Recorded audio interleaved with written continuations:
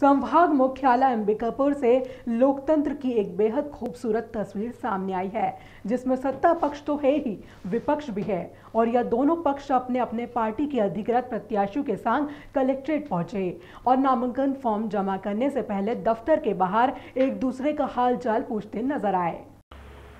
दरअसल नगरीय निकाय चुनाव के लिए आज नाम निर्देशन पत्र भरने का अंतिम दिन था। इस दौरान भाजपा व कांग्रेस के पार्षद प्रत्याशी अपने अपने पार्टी के वरिष्ठ नेताओं के साथ रिटर्निंग अफसर के कार्यालय पहुँचे थे। बता दें कि नगर निगम अंबिकापुर के 48 वार्डो के पार्षद प्रत्याशियों के नाम तय होने के बाद भी फॉर्म के साथ कांग्रेस की ओर ऐसी स्वास्थ्य मंत्री टी एस सिंहदेव अपने समर्थकों के साथ पार्टी के प्रत्याशियों का नामांकन फॉर्म जमा करने पहुँचे थे। इस दौरान पहले ऐसी ही भाजपा नेता व पूर्व महापौर प्रबोध मिंज, भाजपा जिला अध्यक्ष अखिलेश सोनी, अम्बिकेश केसरी अपने समर्थकों के साथ मौजूद थे और इस बीच सत्ता पक्ष व विपक्ष के नेता आमने सामने थे। लेकिन राजनीतिक प्रतिबंधा से परे हटकर सब एक दूसरे का कुछ लक्ष्य पूछते देखे। यहाँ नगर निगम सभापति शफी अहमद भी पूर्व महापौर का हालचाल पूछते नज़र आए तो वहीं सिंहदेव ने भी अपने विरोधियों का हाल पूछते हुए उन्हें निगम चुनाव के लिए बेस्ट ऑफ़ लक कहा।